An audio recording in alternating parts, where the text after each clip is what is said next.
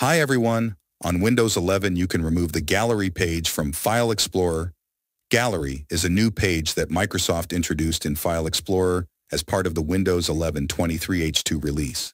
It offers a view identical to the one available in the Photos app.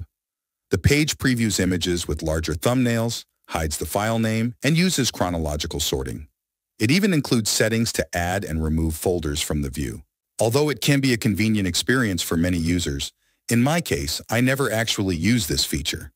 I'm already comfortable using the Photos app, and if I need to find a specific image, I just browse the folder directly.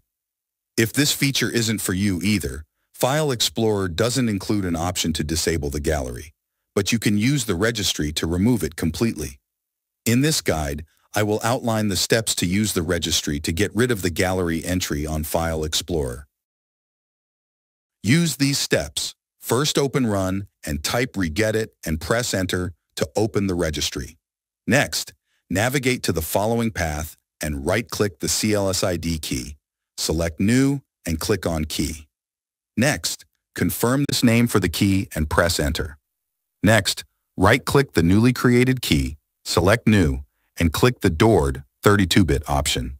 Next, type the name and press Enter, and right-click the newly created DWORD and choose the Modify option. Next, confirm the value is set to 0, and click the OK button. Next, restart the computer. Once you complete the steps, the gallery page will no longer appear on the left navigation pane the next time you relaunch File Explorer. If you want to revert the changes, you can use the same instructions, find the key, and choose the Delete option. If you're watching my video for the first time, please make sure to grab the subscribe button to get the thumbs up and turn on your notifications. So you never miss an update. See you in the next video.